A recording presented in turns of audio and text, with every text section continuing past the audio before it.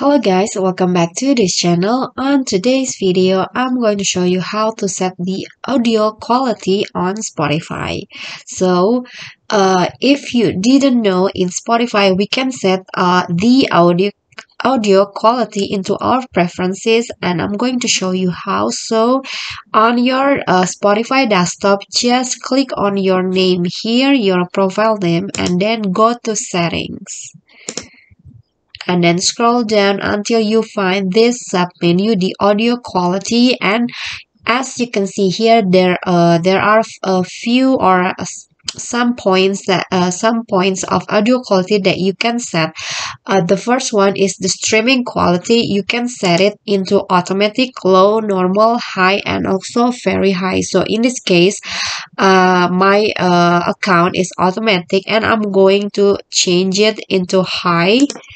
And then there is also download audio quality. So uh, the higher the quality is it it uses more storage. But if you want to have a better quality i recommend it you use the high or very high uh, quality. And also there are auto adjust quality. So the recommended setting from spotify is on but this my account is off. So i'm going to activate it until it turns to gray like this. And then also there is a normalized volume so you can set the same volume level for all songs and also podcasts like this. And also the last one is volume level so you can adjust the volume for your environment.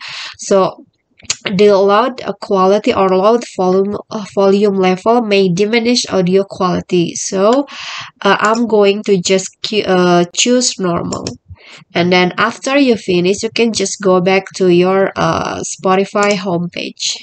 Like so. Okay so that's it for me. That is how you can set the uh, audio quality on your spotify. Okay if you got any question feel free to drop it in the comment. And if you feel the video is helpful don't forget to click like and subscribe for more contents. I'll catch you on the next video. Thank